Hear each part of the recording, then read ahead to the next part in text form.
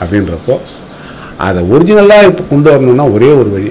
திருப்பியும் வந்து அந்த என்னென்ன மியூசிக் வாசி அந்த மியூசிக்கல் இன்ஸ்ட்ருமெண்ட் போட்டு வாசிச்சா தான் முடியும் அப்படின்ற மாதிரி நிலமை அப்படின்றப்போ யார் என்ன வாசிக்கிறாங்க என்னன்னு சொல்லி அதுக்கப்புறம் மியூசிக் டேரக்டர் ஒருத்தர்கிட்ட கேட்டப்போ அதுக்கப்புறம் சொன்னாங்க இந்த மாதிரி லைவ் இன்ஸ்ட்ருமெண்ட்ஸ் எல்லாம் பக்காவாக அதே மாதிரி போட்டு கொண்டால் டிடிஎஸ் கொண்டு வந்துட முடியும் அப்படின்னாங்க.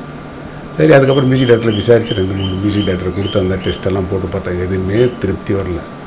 அதுக்கப்புறம் ஒரே ஒரு இனியவன்ற மியூசிக் டைரக்டர் அவர் மீன்ஸில் சங்கீதம் சங்கீதா ஸ்டுடியோ சுப்பிரமணிய சார் அவரோட அட்வைஸ் பேரில் மூணு டீட்டெயில்ஸ் பண்ண முடியும் அப்படின்னு சொல்லி அவர் ஐடியா கொடுத்தார்.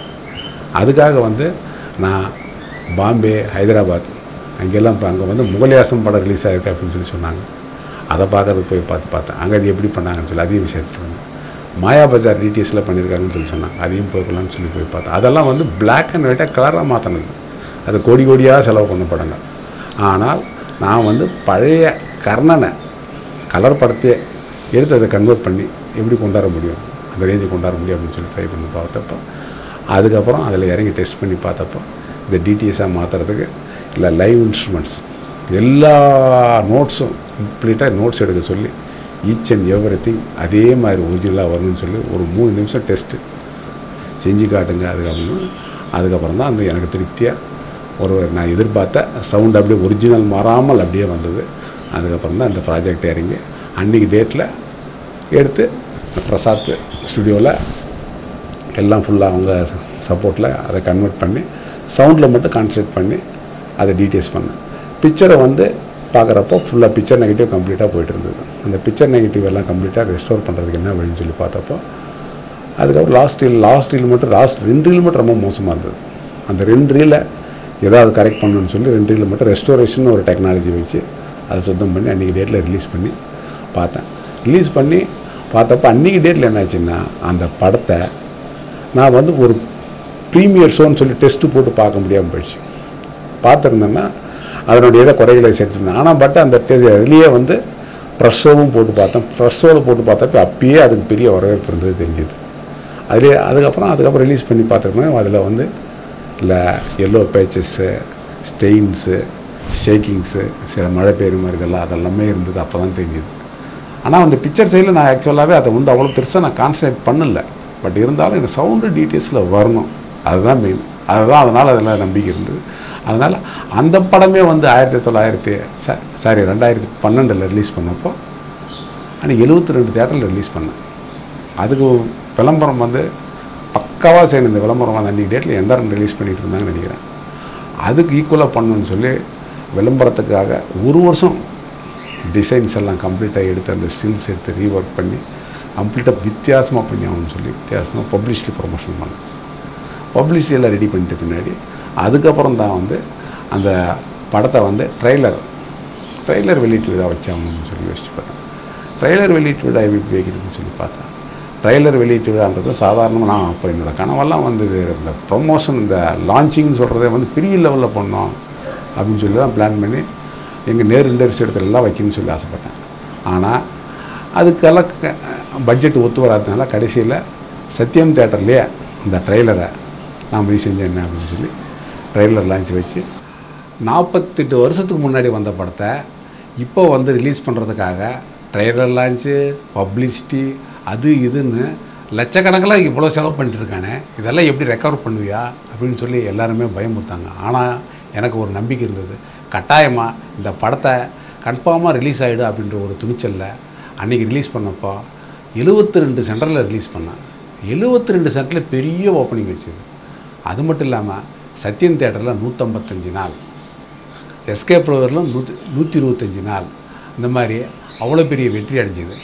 அதுக்கப்புறம் பார்த்திங்கன்னா அதனுடைய ஸ்டாட்டிக்ஸை பார்த்திங்கன்னா இருபத்தஞ்சாவது நாள் முப்பது சென்டரில் ஓடிச்சு.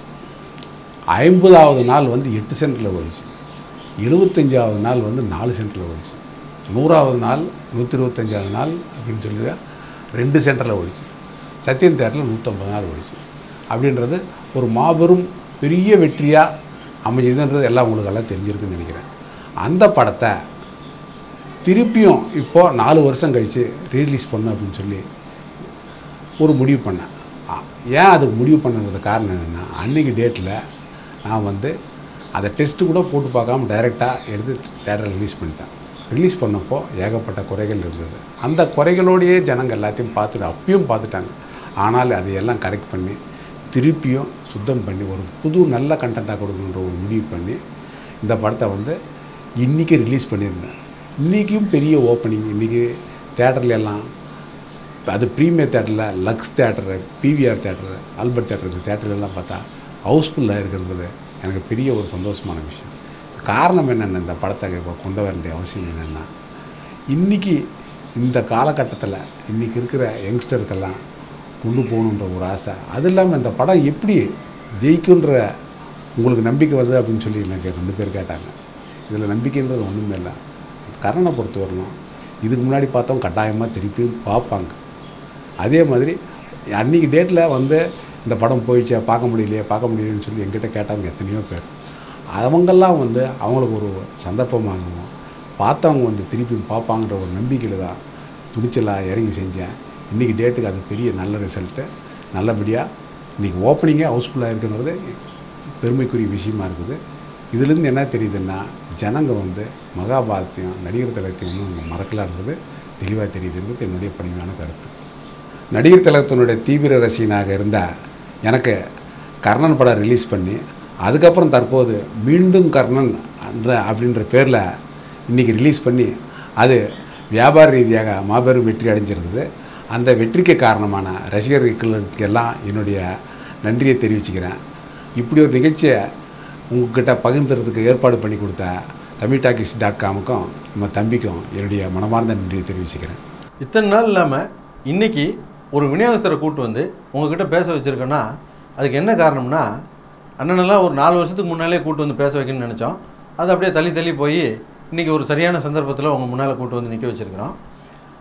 அதுக்கு முக்கியமான காரணம் கார்ப்பரேட் கம்பெனிகள்லாம் நிறையா சினிமாவுக்கு இன்றைக்கி வந்தாங்க இல்லையா? ரெண்டாயிரம் கோடி மூவாயிரம் கோடி முதலீட்டோடு வந்தாங்க. ஆனால் வந்தவங்க ஒரு வருஷம் ரெண்டு வருஷத்துலேயே கடையை காலி பண்ணிட்டு போயிடுறாங்க. அதுக்கு முக்கியமான காரணம் அவங்களுக்கு அனுபவம் இல்லாத தான் எம்பிஏ படித்தவர் ஃபாரினில் படித்தவர் அப்படின்னு சொல்லிட்டு டை கட்டிட்டு வந்து உள்ளே உட்காந்துருப்பாங்க அவங்களுக்கு சினிமாவை பற்றி எதுவுமே தெரியாது.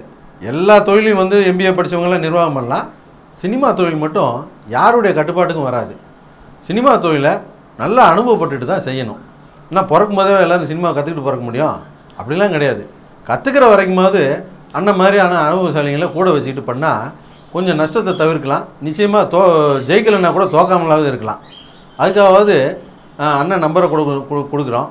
நீங்கள் அண்ணனுக்கு ஃபோன் பண்ணி கூட கேட்டுக்குங்க. உங்களுக்கு என்னென்ன சந்தேகங்கள் இருக்குமோ அதை கேட்டுங்க மற்றபடி கர்ணன் படத்தை பற்றி நான் சொல்லி நீங்கள் தெரிஞ்சுக்க தேவையில்லை.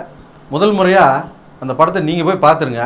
பார்த்துட்டு படம் எப்படி இருந்துச்சுன்னு உங்களுடைய ஃபீட்பேக்கை எங்களுக்கு சொல்லுங்கள் எங்களுடைய நிகழ்ச்சிகள் உங்களுக்கு பிடித்திருந்தால் உடனுக்குடன் கண்டுபிடிக்கிற கீழே உள்ள சப்ஸ்கிரைப் பட்டனை அழுத்தவும். எங்களுடைய நிகழ்ச்சிகள் உங்களுக்கு மிகவும் பிடித்திருந்தால் உங்களுடைய நண்பர்களுக்கும் ஷேர் செய்யவும். நன்றி வணக்கம்.